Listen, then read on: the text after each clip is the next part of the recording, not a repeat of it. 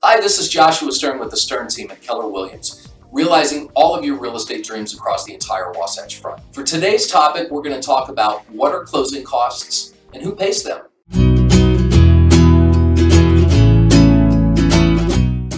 Thanks again for watching our video blog. And before we get started, I wanted to point out a couple of features just to the right.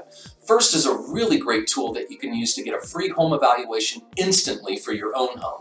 And second is a buyer site, and this link will bring you to all real-time listings from all brokerages covering the entire Wasatch Front. Now back to our topic. What are closing costs?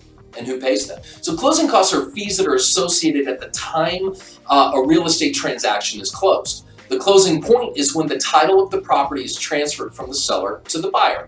So closing costs are incurred by either the buyer or the seller, sometimes both. Typically, home buyers will pay between 2 and 5% of the purchase price of their home in closing fees. These fees include things like document and, and wiring fees, as well as money paid in advance to cover one year's hazard insurance and uh, priming your escrow account for property taxes. They include title insurance, appraisal, underwriting, and processing fees as well. In a market as hot as our market along the Wasatch Front, buyers that are asking for sellers to pay closing costs on a buyer's behalf, they're losing out quite often.